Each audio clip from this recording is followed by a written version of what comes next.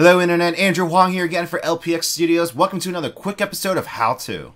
Now here's a quick tutorial on how to uninstall apps from your Gear S. So first thing you want to do is make sure that your Gear S is connected to your phone via Bluetooth. And once you do that, go ahead and open up your Gear App Manager. Now once the app opens, if you are users of multiple Gear devices, make sure that you are under the Gear S's settings. So all you have to do is just tap on the top left and just make sure you're on the Gear S. Once you're there, just scroll up and go down to settings. Now, once that's open, go ahead and locate the app that you're trying to get rid of. And then go ahead and hit that little red minus symbol right next to the app there.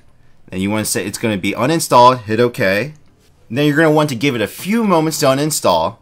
And then once you do, it's gone from the app manager as well as from the Gear S. It's no longer located on your Gear S. So there you have it folks, that's how you remove apps from your Gear S device. Well, I hope you found that video to be helpful. Uh, for more how-tos in general, please go ahead and hit that little video over there. That'll take you to my playlist I've dedicated to just how-to videos. Um, if you want more Gear S content, please go ahead and click this video over here, and I'll take you to a playlist dedicated to all the Gear S videos that I've made.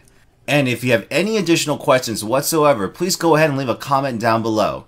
Also, if you haven't already done so, please go ahead and hit that subscribe button for more content, as well as to join the ever-growing community that we're growing here. Once again, thanks for watching. I hope to see you guys in the next video. Take care.